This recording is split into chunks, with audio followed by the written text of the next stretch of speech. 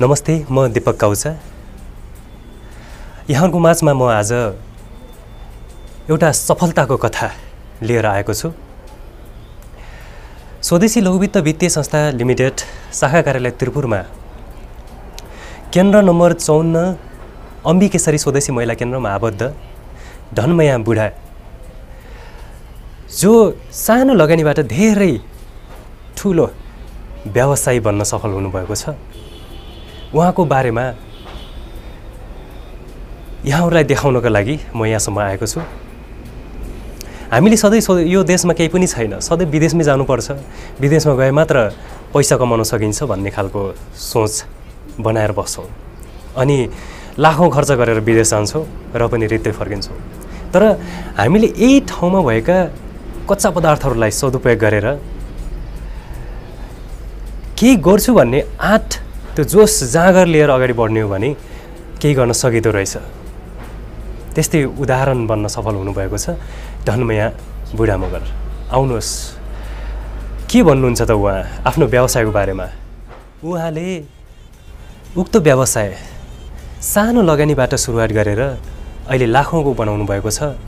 यो व्यवसाय सुरुवात गर्दादेखि हालसम्म के कस्तो अवस्थाहरू रहेको छ? हेरौँ न त।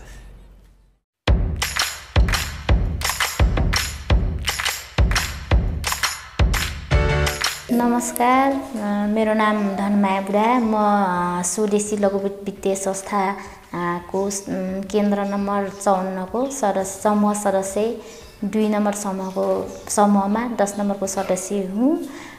र मेरो घर अ, पन्ध्रमा पर्छ। र मेरो श्रीमानको नाम केन्द्रबहादुर डाइङ हो। म अहिले यो च्याउ खेती र च्याउ पशुधन अ, काम गरिरहेको छु। म तिन दुई तिन वर्ष अगाडि नै अगाडिबाट नै यो स्वदेशी लघु संस्थामा जोइन भएको थिएँ। त्यहीँबाट साना साना पुँजी लिएर मैले च्याउका अचारहरू अ, देखि लिएर विभिन्न जस्तै अदुवाको खुर्सानीको च्याउको आँपको खुर्सानीको अचारका आइटमहरू सबै बनाउने गर्छु र साथसाथै च्याउको अचार र सुकुटी पाउडर पनि बनाउने गर्छु। र यसैमा पनि मलाई यो ल उसको यो सिस्नोको धुलोहरू अनि मसलाको धुलोहरू अ, पनि मलाई बनाउन मन लागिरहेको हुँदा थप पुँजी चाहिएको हुँदा मैले यो स्वदेशी लघु वित्त- वित्तीय संस्थामा मैले ऋण माग गरिरहेको छु।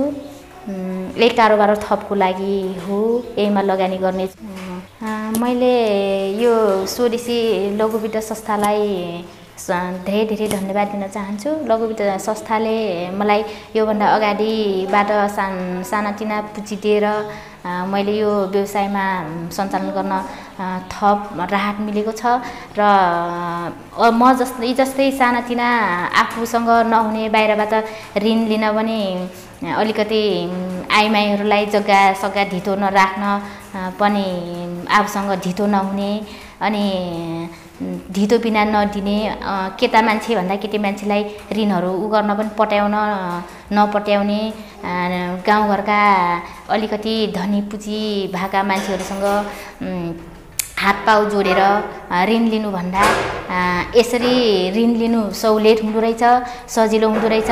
उहाँहरूले श्रीमानसँग सोधपुछ त गर्नुहुन्छ घर परिवारको सरसल्लाह त माग्नु नै हुन्छ लिनु नै हुन्छ।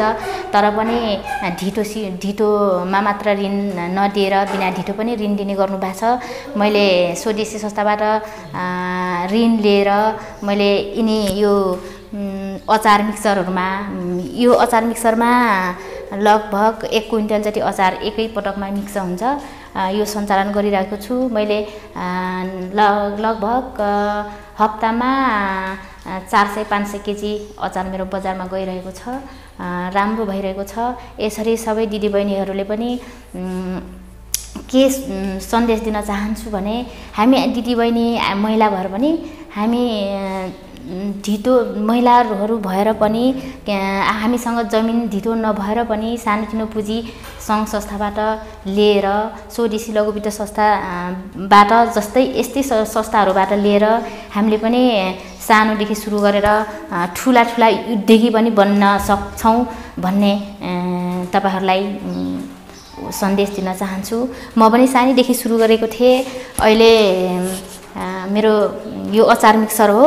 यो अचार मिक्सरमा लगभग आवश्यकता अनुसार चाहेपछि दिनमा दस पन्ध्र क्विन्टल अचार पनि यसमा मिक्स गर्न सकिन्छ मिक्सर गर्न सकिन्छ। सानोतिनोबाटै माथि जाने हो। मैले पनि एक्कासी एकैचोटि यिनी मेसिनहरू एकैचोटि यिनी कामहरू गरेको थिएन। मैले पनि सानातिनाबाटै गरेको थिएँ। लगभग आठ दस किलो दस पन्ध्र किलो हातैबाट सुरु गरेर पनि गरेको थिएँ। त्यसरी पनि गर्न सकिन्छ र यो सङ्घ संस्थाबाट किस्ताबाट तिर्ने भा हुनाले हामीले एकैचोटि एकमुष्ट पैसा जस्तै एक लाख दुई लाख लिन्छौँ। तर तिर्दाखेरि एक लाखको महिनामा मात्र दस हजार तिर्नुपर्छ। यसरी सानातिना पैसाबाट तिर्ने भाव हुनाले पनि हामीलाई धेरै राहत हुन्छ। हामीले महिनामा मासिक रूपमा हाम्रो पैसा पनि बचत हुन्छ। जब दस हजार रुपियाँ अरू बाहिरबाट हामीले ऋण लिन्छौँ एक लाख पुऱ्याएर मात्र उनीहरूले बुझ्ने गर्छन्। एक लाख पुऱ्याउने भन्दा थप्छौँ भन्दा भन्दा झन् घट्दै जाने हुन्छ। यो थोरै भयो भने यति त हामीले पुऱ्याउनै पर्छ। एक दुई हजार यताउता खोजेर भए पनि पुर्याउनै पर्छ तिर्नै पर्छ भन्ने हामीलाई मानसिकतामा पनि त्यस्तै जान्छ। र सजिलो पनि हुन्छ।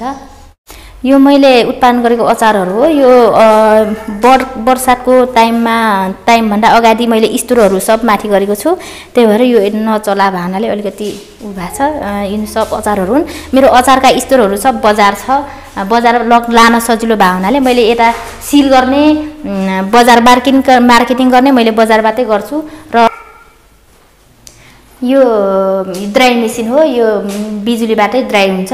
यसमा हामीले जे जुनसुकै चिज पनि सुकाउन सक्छौँ। एकै दुई घन्टामा जति गिलो चिज पनि सुक्छ।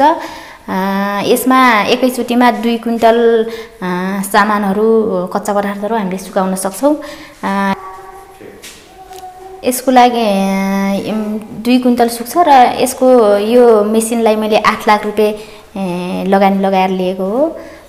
यसमा मैले अहिलेसम्म च्याउको सुकुटीहरू अचारको लागि चाहिने मसलाहरू जस्तै बेसार अदुवा तिन तिनी हुन्छ तिनीहरू सुकाएर म आफै पिस्ने आफै मसलाका अचारको लागि मसलाहरू तयार गर्नको लागि यो राखेको।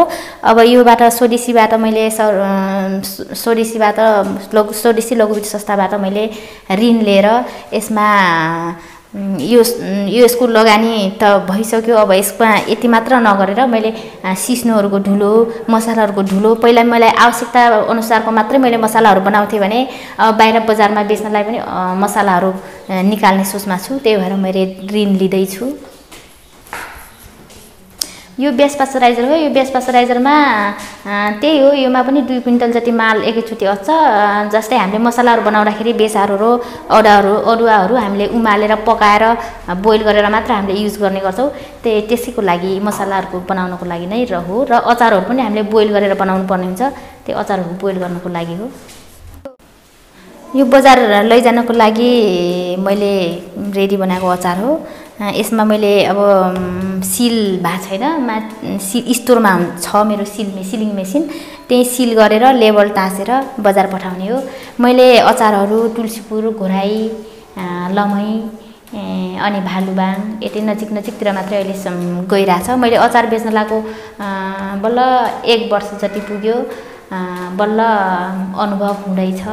र यसको लागि मैले लगानी लगाएको जुन यो अचारहरू कच्चा पदार्थहरूमा लगानी लगाएको तिनीहरूको त मैले उठाइसकेँ। जुन मेसिनहरू लगानी लगाएको छु त्यसमा लगभग अब म एक वर्षमा सबै उठाउँछु।